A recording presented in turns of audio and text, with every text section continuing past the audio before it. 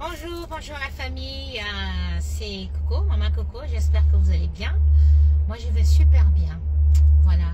Euh, je fais une petite pause euh, là pour faire une vidéo. Parce que bien évidemment, vous savez que pour le moment, je ne peux pas faire des directs avec ma page. Toutes mes pages sont restreintes. Voilà, bah, ça va encore durer des semaines, hein, je crois, mais bon, c'est pas grave. Donc je ferai des vidéos comme ça, comme je vous l'ai fait souvent lorsqu'il y a un sujet euh, voilà, de société, un sujet qui fait un peu boom euh, chez nous au Cameroun. Voilà. Donc euh, voilà, je ne vais pas tirer des midi à 14h. Vous savez déjà de quoi je veux parler. Donc je veux parler euh, du décès du chanteur euh, Aïdjo Mamadou, qui était un grand frère, parce qu'il venait du même département que moi, département de la Haute-Sanaga. Voilà. Donc il est décédé hier de suite de longues maladies. Je fais cette vidéo parce que Vous savez que moi j'ai décidé de dénoncer la sorcellerie de cette fille. Ça va durer le temps que ça va durer, mais tant qu'elle est en vie et que moi je suis en vie, comme elle a essayé de m'ôter la vie, de faire la sorcellerie sur moi, moi ma sorcellerie là, c'est en pleine journée sur elle. Si vous ne le savez pas, je suis au tribunal avec elle. Voilà, au tribunal de Saint-Lys. Elle m'a déposé une plainte comme quoi, euh, voilà, qu'elle était malade euh, à cause de moi, euh, qu'elle n'arrivait plus à chanter ni à faire des, des- concerts, qu'elle était mal, qu'à cause de moi sa carrière allait mal. Bref, elle a essayé de gonfler le dossier parce que bien évidemment son compagnon actuel, celui qu'on connaît, est un avocat au barreau de Paris. Toujours est-il que c'est pas lui qui la défend, donc il a préféré filer le dossier à un de ses collègues qui lui ensuite a filé le dossier à un autre avocat de, mon canton. Voilà.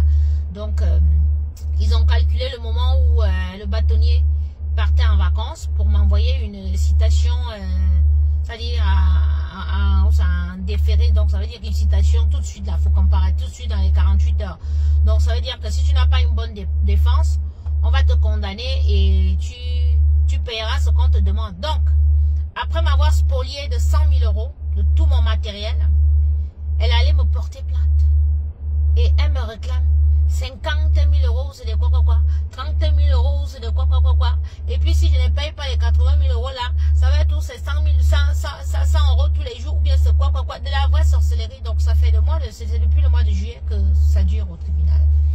Donc, bien évidemment, quand euh, l'huissier m'a ramené euh, cette convocation, moi j'ai été voir euh, un des plus grands avocats de mon coin tout de suite. J'ai déboursé 2400 euros en 48 heures. Je lui ai ramené toutes les, toutes les captures d'écran, toutes les vidéos, de tout, tout, tout, tout, tout. Parce qu'elle m'accuse de la traiter de Madame Mongo Faya, de la traiter de ci, de la traiter de ça. Donc, moi j'ai pris tout ce qui se dit sur elle sur les réseaux sociaux depuis des années. Les coupures des journaux, des magazines, de tout, tout, tout. J'ai ramené tout ça à mon avocat. Donc, ça a été euh, dit que c'était,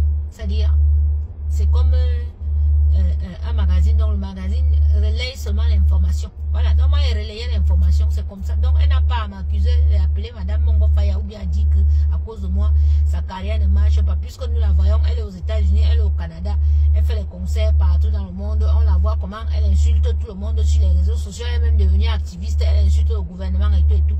Ça, c'est une femme qui n'est pas bien, qui se comporte comme ça. Ou bien qu'une femme qui est pauvre, qui est malade, que moi, elle est rendue malade. Non, c'est pas ça. Donc, toujours est-il que j'ai filé à mon avocat. Donc, euh, le dossier a été renvoyé. On lui a demandé, donc son avocat appelle mon avocat pour dire que, ouais, euh, moi je continue à insulter sa cliente et tout et tout. Donc, mon avocat lui dit, bah, euh, si tout ça arrive, si ma cliente se comporte ainsi, c'est parce qu'elle réclame ses affaires. Où sont ses affaires Lady Ponce dit qu'elle n'a plus mes affaires et qu'elle a déménagé. Donc j'ai dit à mon avocat qu'elle a déménagé en 2023. C'est en 2021 qu'elle m'a menacé de mort, qu'elle m'a spolié de mes affaires. J'ai déposé une main courante au tribunal, euh, au commissariat de Bondy. Elle ne savait pas. Depuis juin 2021, elle ne savait pas que moi j'avais déposé une main courante. Donc j'ai ramené tout ça dans le dossier. Donc du coup, madame est coincée là-bas. Elle ne peut pas ramener des, des éléments contre moi. Elle n'appelle même pas. Mon avocat demande qu'on lui envoie les éléments. Ils sont incapables de donner des éléments à mon avocat. Ce qui fait que l'affaire est renvoi sur renvoi. Bon, je pense quand même que ces jours-ci, vont crancher et tout.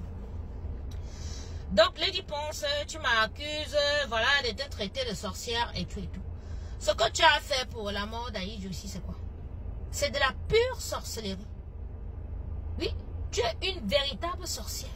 Parce que quand je dis aux gens qu'on est, ils, ils vous me tombent, donc c'est la la méchanceté. Ça veut dire que un musicien camerounais est entre la vie et la mort. Les Camerounais se lèvent sur les réseaux sociaux pour lancer un SOS. Pour que les gens cotisent de l'argent comme ils ont l'habitude de cotiser. À chaque fois qu'un acteur euh, ou un, musicien a des soucis de santé. Donc, on cotise, les gens cotisent, les gens font des litiges pour donner de l'argent à la famille pour que la personne se fasse soigner. Toi, Lady Ponce, tu t'es levé. Alors qu'on n'avait même pas Benji, on n'avait même pas prononcé ton nom dans cette affaire.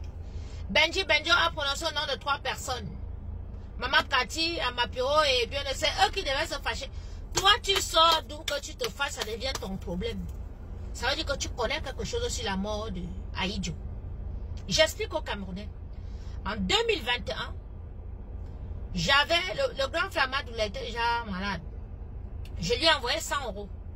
Et je lui ai dit, grand frère, c'est pas parce que j'ai les avec elle que je te dis de ne plus aller chanter dans son cabaret. Ce cabaret, c'est un temple des ténèbres.